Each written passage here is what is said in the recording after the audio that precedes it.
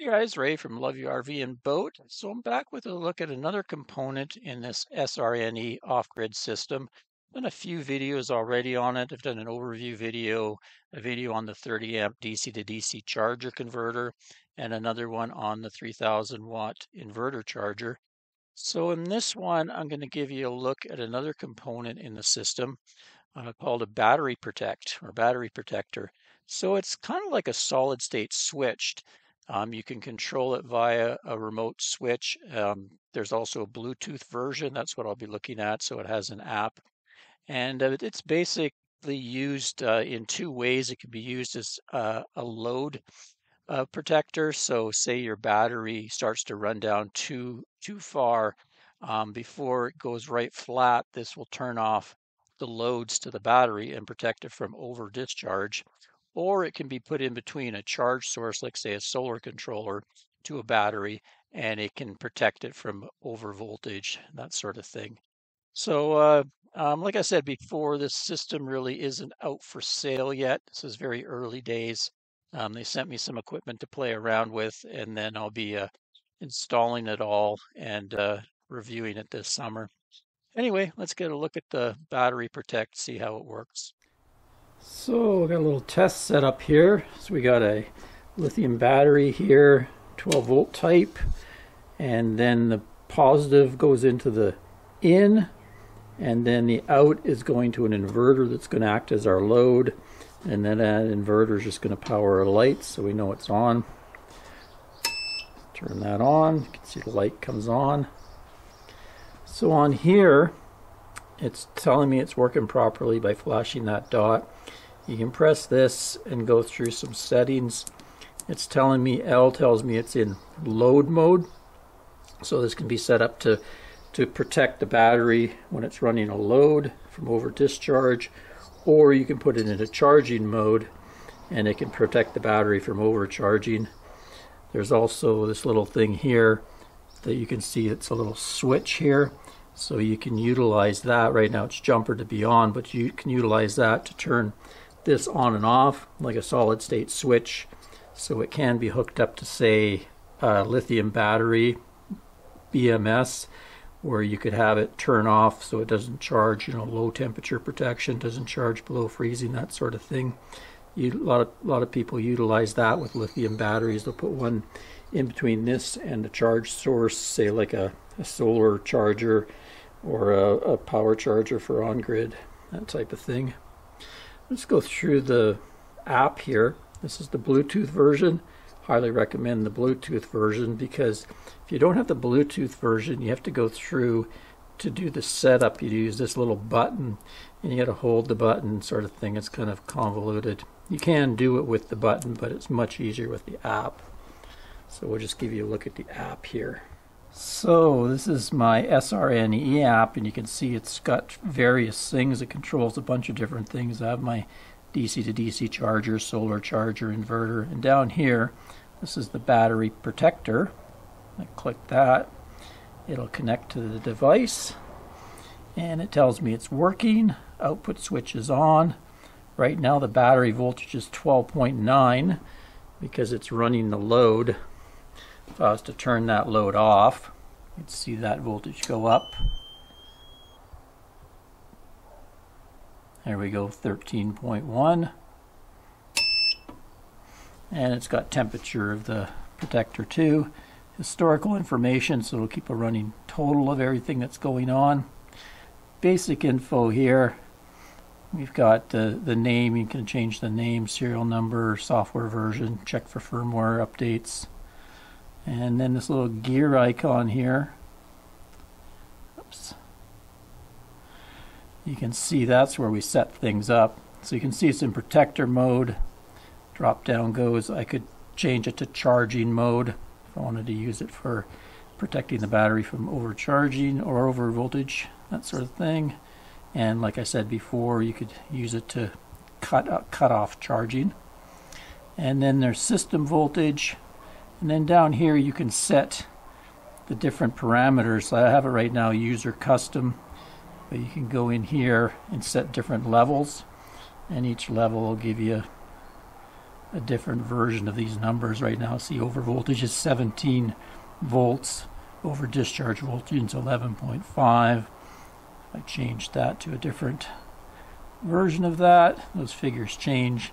I think this is the basic one that, that its default one is over voltage 15 volts, over discharge voltage 10.7. So we'll just give you a demo of it actually protecting the battery from over discharge. I'm going to actually to do that I can't really lower the voltage on this battery very easily so I'm just going to change the system voltage to 24 and that'll make it actually kick in and give you a demo of it working. Back here should disconnect or disconnected real-time monitor here. Yeah, you can see battery over discharge, output switched off. And then also it has this dash means it's in that. There's, it does various things for different errors show up on this. But the app gives you more detailed report of what's going on. So let's just go back and put that back at 12 so we can turn it back on again. There we go. Go back. It should pop back on. There we go. And we're back in business. You can see output switch back on. So like I say, it's nice to have the Bluetooth version of this for sure. Uh, maybe I'll just give you a demo of using this uh, manual switch. Okay, so I removed the stock little jumper clip there, added a few wires. So this three pin thing, one is ground, and the ground goes back to the negative of the battery, and all that does is, is give power and ground to this so it can work. So here we go, I've just got the jumper clips here, and I'll pull one off, and that'll be like opening the switch, and our light should go off. There we go. So now the switch is open. It's turned off this like a solid state relay. And I'll switch it back on. And bang, we're back in business. So that's pretty cool. So it's like having your own uh, remote jumper. You could take this and have the switch mounted anywhere. If you just wanted a way to turn off um, a bunch of loads, say in your camper, you have a bunch of your uh, loads for your lights and all that be a convenient way to just turn them off or if especially if you have lead acid batteries if it ran down rather than just hurting the battery running it overly flat so that it's not even recoverable this thing could save it from over discharge okay let's test it as a charge protector. So I just have this as my charge source. It's a 30 amp uh, battery charger. So it's going through. I've gone into the app and I've changed it to be a protector, not a load. And I've also gone in to custom level and put over voltage at 14.2, which is a nice thing. It goes as low as 14. So you can kind of set it so you don't overcharge your lithium although most have their own protection but it's kind of a nice feature you can set that to whatever you want. We'll just go 14.4 and you can see I'm getting 30 amps of charging there. Now same thing if I wanted to disable charging I could have my remote switch and just go like that and it would turn off charging. Let's see it's dropped down to zero and this thing flashes F I think it stands for wiring failure or something. Put that back. And we should be back in business.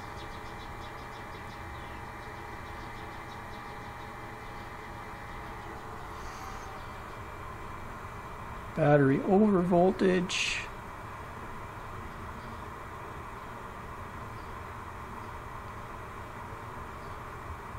Interesting.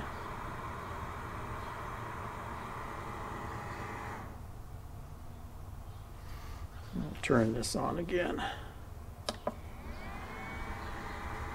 There we go, it reset. So we'll wait for this to ramp up again. It starts at 7.8 amps and it goes up to 30 amps. And then what we're going to try is a battery over voltage. Um, yeah, I think I'll set this to 24 volts and that should trigger the over voltage. So let's go here. Just go off there, and I'm going to change this over to 24 volts. Now that should be too high, and this should uh, go into over voltage. Right now we're at 13.3, so let's give her a try, see what happens.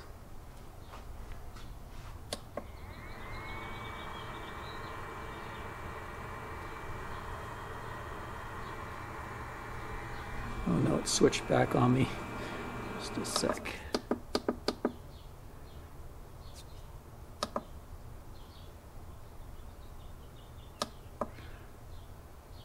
I guess this box is actually smart enough.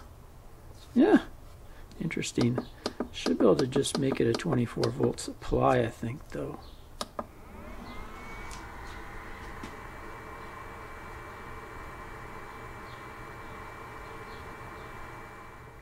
No, this box is too smart. It'll let me screw up. It's kind of neat. Anyway, I think I may be able to just lower this down enough.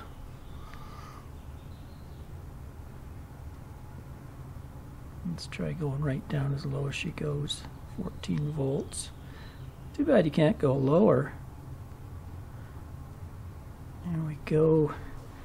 I think when we turn this on,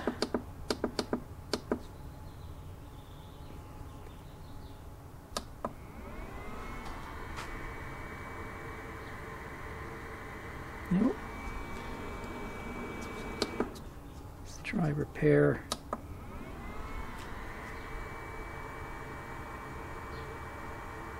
Well, unfortunately, I'm unable to test the over voltage. It uh, default is 15, and even when I go to user customs, every time I go and try to change this, say I want to put it at 14 and uh, save that, it always pops back to 15 on me. Try that again, real time. Yeah, you see it goes right back to 15, so I don't know, maybe they're probably still working on their app. Like I say, all this stuff isn't out for sale yet. They just sent it to me as an early uh, kind of tester for them. But you'll see everything put together on my boat this summer. We'll be back on the boat in June and I'll be installing the whole complete SRNE system to uh, test this summer on our boating adventures. Till next time, Ray from Love Your RV and Boat. Thanks for watching. Cheers, guys.